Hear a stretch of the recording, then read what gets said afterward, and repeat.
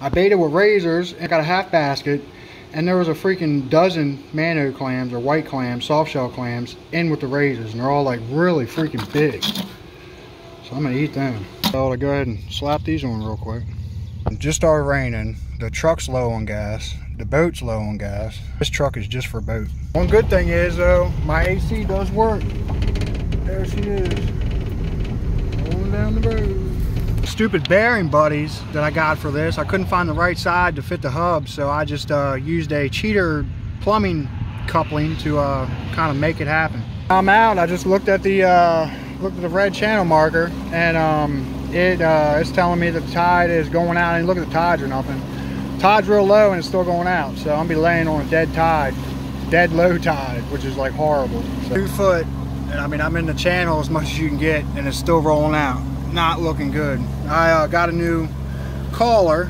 It um it was given to me by a family member, and definitely gonna put this thing to good use.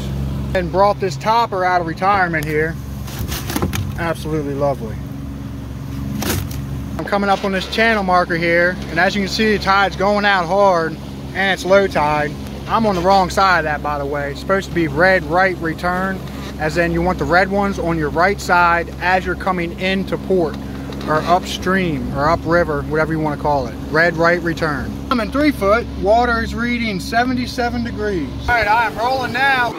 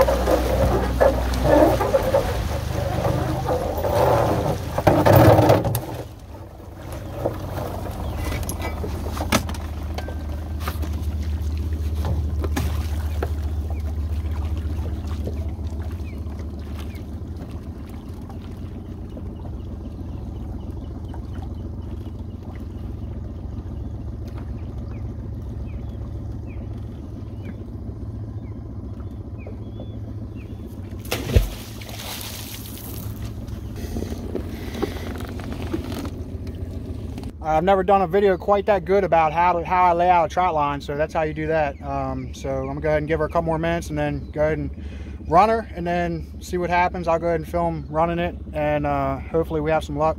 If not, I'll go ahead and pick everything up with this uh, nice fancy line puller I got here and um, go ahead and move out further towards the mouth, see if uh, see if they're in deeper water closer to the uh, to the bay a boat going by. I'm gonna go ahead and let it go by. What it'll do is the wake will uh, go ahead and move the bags around, kind of give it a little bit of life and hopefully attract a couple crabs. It might. We'll see what happens. Um, never hurts to try. And I got another boat coming out, so go ahead and let it go by and hopefully uh, double uh, bottom disturbances will move the clams around and maybe bring something to them, who knows.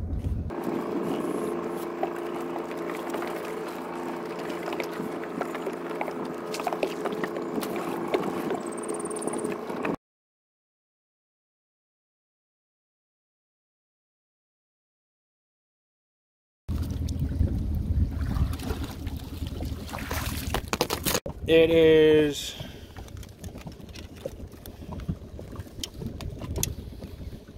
seven inches. Solid seven inch crab. Nice, looks hard. Nice and hard, good number one.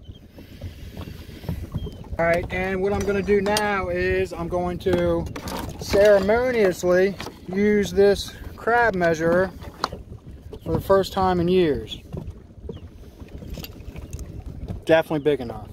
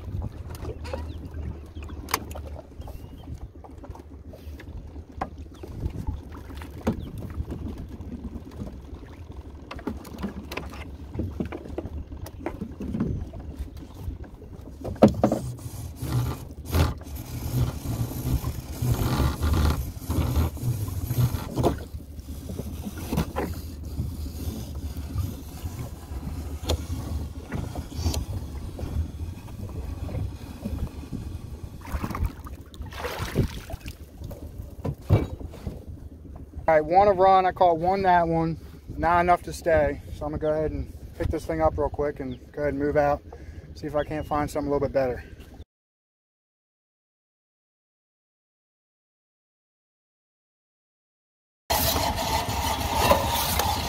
And this thing is just straight dragging the anchor right on the bottom.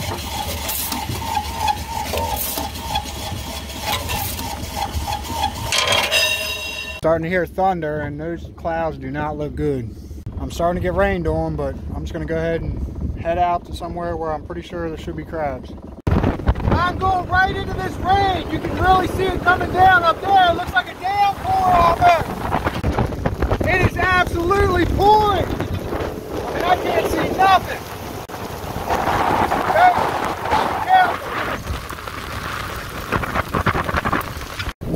I mean, I'm getting absolutely soaked. Pretty sure it's gonna pass pretty quick, but man, this kind of sucks for the moment. Actually feels pretty good. Went from nice and beautiful to all crazy in the blink of an eye. I mean, it's raining, got white caps rolling out here. I'm getting out in this big water. I'm just gonna push on through. It looks to me like it's gonna go ahead and pass. So we'll see what happens. I don't really have a lot of choice except for to go right into it. So that's what I'm doing.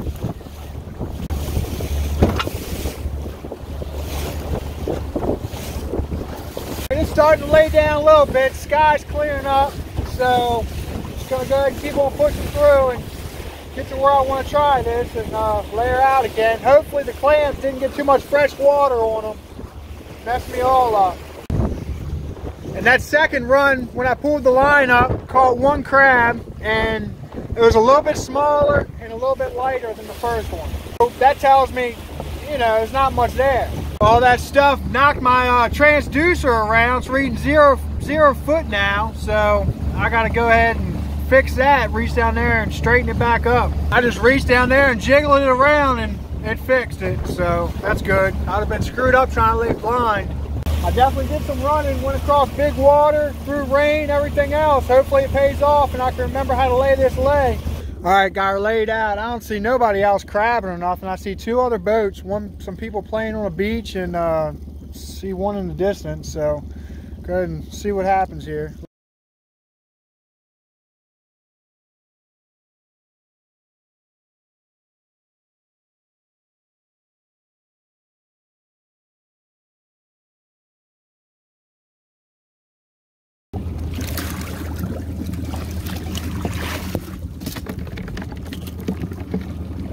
Caught one female.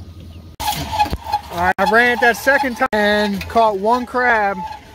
At least it's a male. Going up north to the next creek. The sky is crazy and it's definitely raining over there where I So we'll see what happens here. Played the line out and um, gonna go ahead and give it a couple minutes and go ahead and give it a shot. It's starting to rain a little bit too. So wind's really picking up, my God. It got rain over there like crazy, and I'm just gonna go ahead and run it with the wind and the tide. The tide should be coming in by now. I never looked at no tide chart or nothing. Just kind of read the water, so I'm gonna go ahead and run it and see what happens here. I got it deeper in like 10 foot, 10 to 7. The end's in 7, a little shoal, but I'll try a little deeper, see what happens. Yeah, it's freaking, I saw the kind of lightning I like, I'm going to shore, because it's just, uh-uh. I'm gonna go shore for a couple minutes. All right, I'm just kind of went ahead and got up on these rocks for a second because, um, yeah, as you can hear, uh-uh, it's just too dangerous out there in that open water.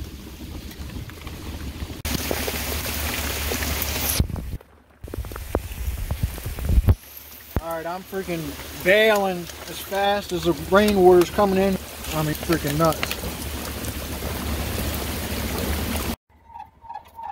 Yeah, I'm freaking freezing. I'm yanking this freaking line up. I'm getting the heck out of here. I'm done for the day. Four crabs, but heck of an adventure. Hopefully we don't have any craziness getting back to the freaking pier. I'm freaking freezing. Thanks for watching. Don't forget to like, comment, share, and subscribe.